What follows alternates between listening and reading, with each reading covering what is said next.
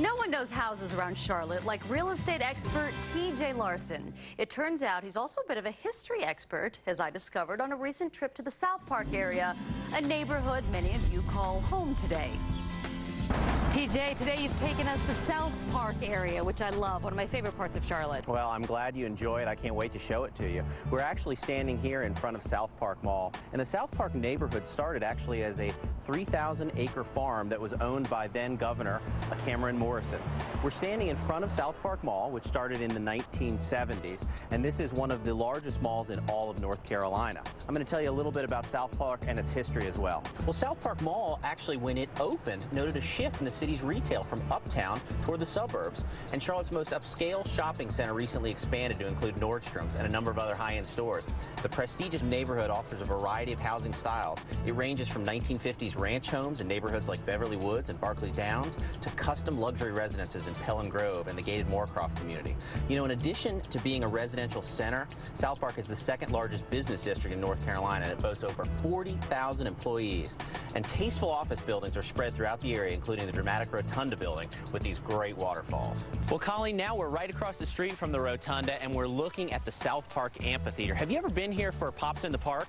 Yes, I absolutely love it. It's a must-do event in Charlotte. Well, that's a summer concert series that's put on free by South Park Mall. That and the annual Christmas tree lighting are two great events that you can experience here in the South Park area. The Christmas tree lighting, it is a great tradition, and it actually takes place on Thanksgiving Day. It features caroling, it features fireworks, there's even a visit from Santa. TJ, now we're at Piedmont Town Center. We are. I wanted to show you this because the condo market in South Park has really started to rival the uptown condo market. Piedmont Town Center was a mixed-use property that was developed by Crescent Resources. It features shops, it features retail, it features restaurants like Brio and Del Frisco's behind us here. On top, we see the condominiums. There are one, two, and three bedroom condos. They range anywhere from the 200s to well over $500,000. In addition, the last corner over there we'll also see a little YMCA as well. So everything that you want is at your disposal here at Piedmont Town Center. Also on top of the condominium building, there's a rooftop terrace, there's a pool, you can see the tree canopy of Myers Park, and you can see a little bit of the Charlotte skyline. Some other recent additions to the condo market include Southgate. This is a great condo complex at the corner of Fairview and Park Road. Southgate starts from the low 200s. Lewisburg Square is at Sharon and Sharon View.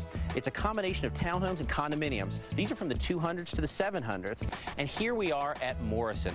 Wonderful project, another mixed-use community much like Piedmont Town Center. Clay Grubb and, the, and Grubb Development has put this project together and it boasts some wonderful retail spaces. We've got Earth Fare. This is where I shop every night. Yama's a wonderful sushi restaurant that you can have. And finally, we are at Phillips Place, a great place, something for everyone, really. I thought this would be a great place where we could wrap it up. I've really enjoyed taking you around South Park today. It's fitting that we end at Phillips Place.